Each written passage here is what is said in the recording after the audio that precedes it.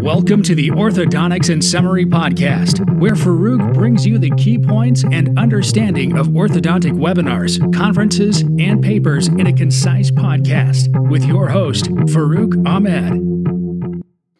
Welcome to this episode of Orthodontics in Summary. Today's lecture is entitled Lower Incisor Extraction, a Contemporary Treatment Option or an Orthodontic No Go. This is by Justin Arnold. Justin started off by giving an introduction to the topic of lower incisor extraction. He described Kokich mentioned that it should be part of the orthodontic treatment techniques to extract one lower incisor. That's Kokich from 1984. He described how ideal static and dynamic occlusion can be achieved through this extraction approach, and Rivas in 2016 demonstrated this. He also relented and stated that the evidence behind lower incisor extraction is generally based around case reports, with the exception of one systematic review. So, why should we carry out lower incisor extraction? Well, Jassin went on to describe why. It reduces the anchorage demand and keeps an intact posterior segment for anchorage. It improves dental occlusion in a shorter time frame. It has a psychological benefit to our patients. Profile also has been shown to improve in mandibular protrusive cases. This was by Levin in 1964. So, when should we carry out the lower incisor extraction? What are the indications? Well, the systematic review by Zhylich in 2011 demonstrated this information, and that is a mild to moderate class 3 case, one where we have an edge to edge occlusion, and one where there's a 4.5 millimeter tooth size discrepancy of the lower arch to the upper arch. But Jason was keen to advise when not to also use this extraction pattern.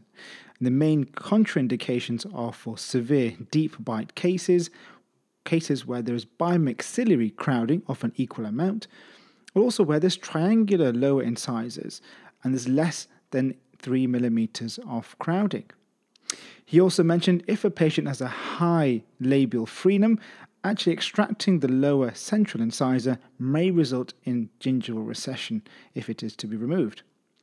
And there are risks to having the lower incisor, incisor removed. The main aesthetic challenge is that it can produce a black triangle. It can result in an increased overjet and overbite, and also, if there is relapse that takes place, it opens up a gap within the aesthetic zone. Jason then described how to plan a lower incisor extraction case, and it starts with a Bolton analysis. He described the anterior ratio of being 77%. This is the lower 3 to 3 mesodistal width of the teeth and the upper 3 to 3 mesodistal width. And what I liked about Jason's lecture is that he described a very analytical approach to calculating when a low incisor extraction was required, but also how to manage it. So he gave cases as an example. He started off with a class 2 division 2 case with class 1 molars and 4 millimeters of lower incisor crowding and very mild crowding in the upper arch. Now he calculated the Bolton discrepancy at being 87% for the anterior segment. This is too high, but when he factored in extraction of a lower incisor, it became too low at 74%. So, how did he resolve this numerical discrepancy? Well, he's aiming for 77%, so he stripped the upper incisors by 2 millimeters. This gave him the ideal percentage of the upper 3 to 3 segment, the lower 3 to 3 segment, with the loss of one lower incisor. The second case he went on to demonstrate was a Class 2 Division 1 case with half unit Class 2 molars and a 6mm overjet. Here there was a malocclusion to manage as well, but he stated still dividing up the case from anterior segment, you can still look at the Bolton discrepancy. He showed again that there was a discrepancy which resulted in an 87% ratio. Again, extracting one low incisor meant he needed to carry out some stripping in the upper 3 to 3 region.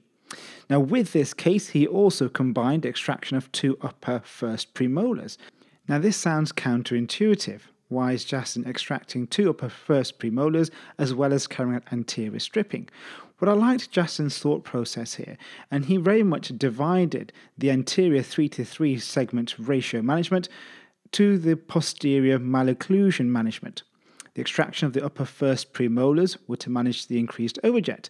However, that doesn't affect the anterior 3 to 3 ratio. To achieve ideal occlusal anterior outcomes, the 3 to 3 in the upper needs to be balanced with a 3 to 3 in the lower. Jackson's plan was to extract one low incisor. That necessitated to balance the Bolton's analysis to carry out stripping of the upper anterior segment. I very much enjoyed Jackson's lecture, his numerical and analytical approach to low incisor extraction, as well as an honest opinion as to when it works and when it doesn't work. Hope you've enjoyed this episode of Orthodontics in summary. Please do subscribe if you wish to see the notes. They're available at www.orthoinsummary.com.